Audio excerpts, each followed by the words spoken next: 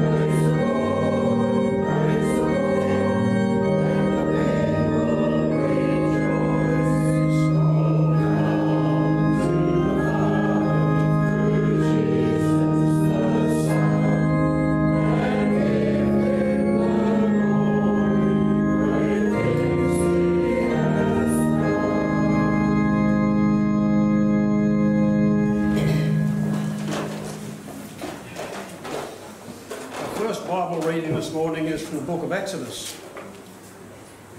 We're going to be thinking this morning about the Exodus. In fact, we're going to be talking about two Exoduses.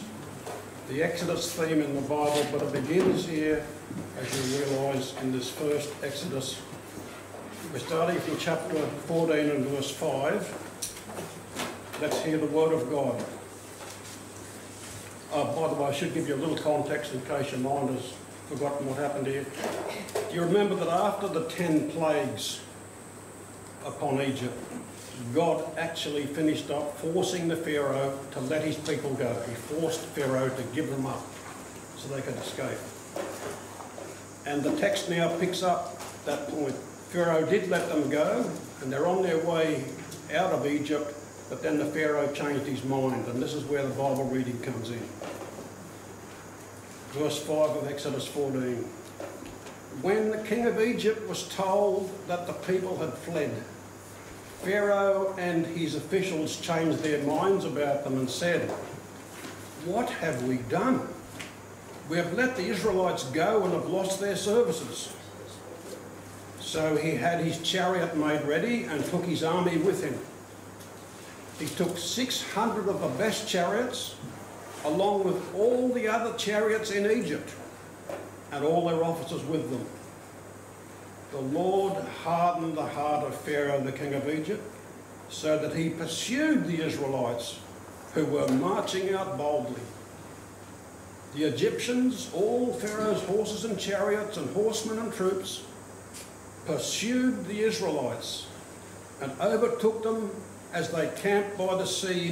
Now, this next couple of words is a bit easier to read from the original Hebrew than it is in English. As they camped by the sea near Pi Hahiroth, opposite Baal Zephon. As Pharaoh came near, as Pharaoh approached, the Israelites looked up and there were Egyptians marching after them. They were terrified and cried out to the Lord.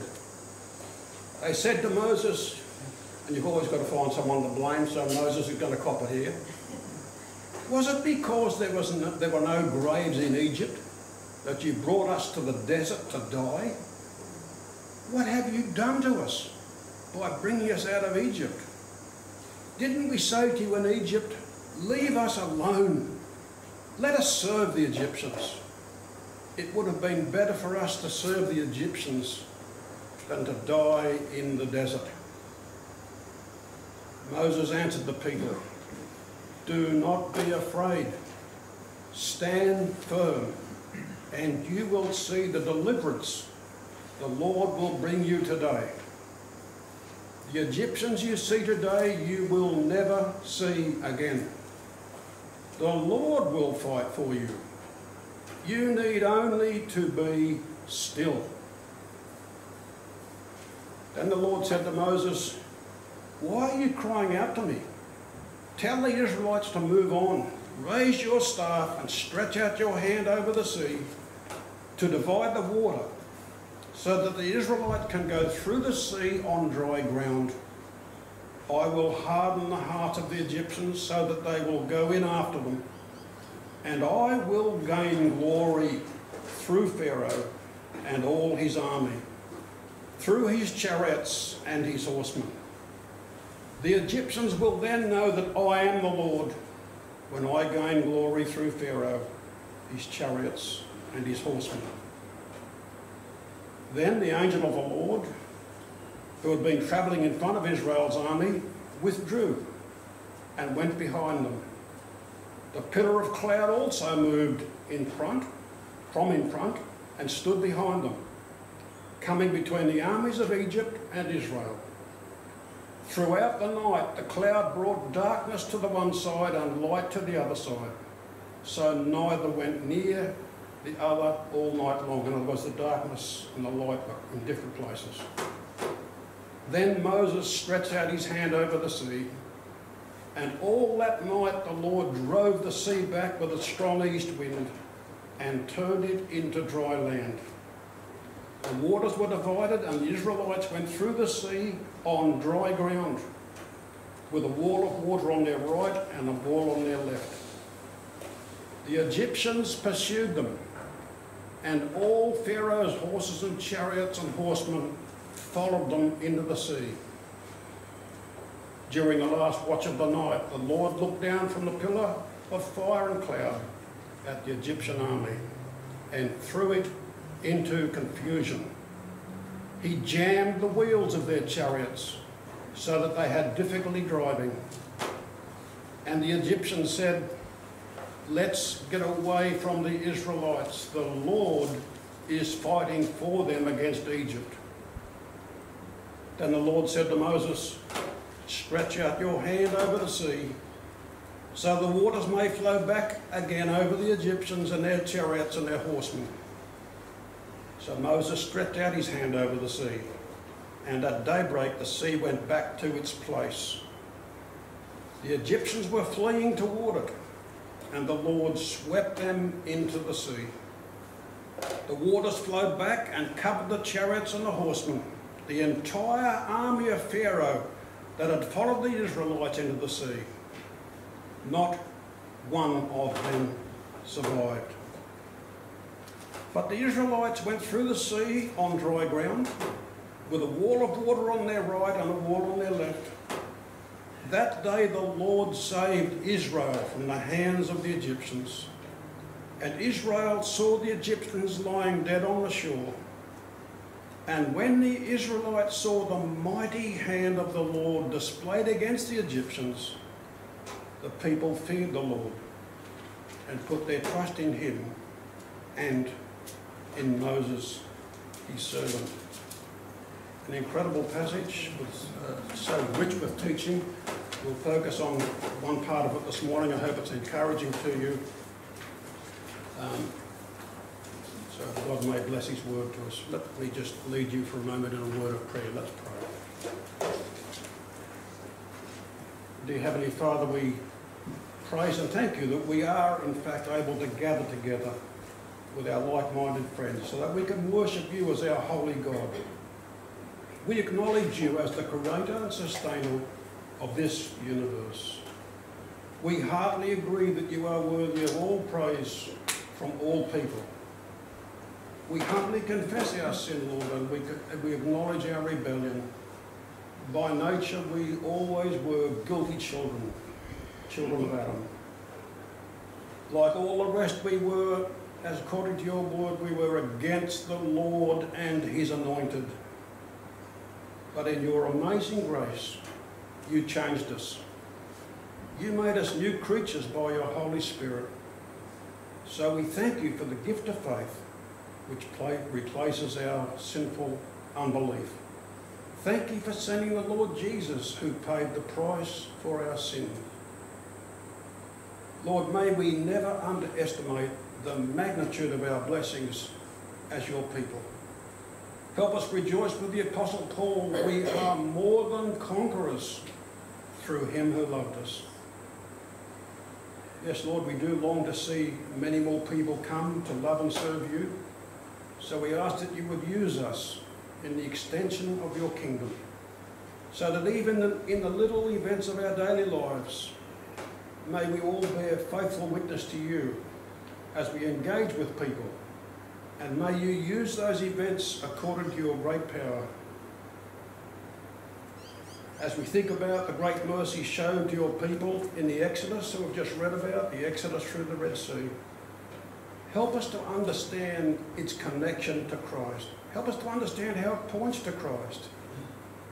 Help us to see the greater Exodus that Jesus accomplished the exodus from a far worse enemy than Pharaoh and from a far worse bondage than 400 years in Egypt because he accomplished exodus from slavery to sin. Lord, remind us of our Lord's assurance. I will build my church and the gates of Hades will not overcome it. We bring before you, Lord, any who might be very unwell, who are struggling with all sorts of troubles and difficulties.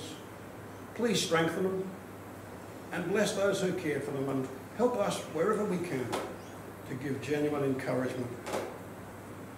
As we now continue in this hour of worship, our biggest desire is you would be honoured And may we be made wiser and stronger as the Holy Spirit applies your word to our hearts and minds. All this we pray in Jesus' name. Amen.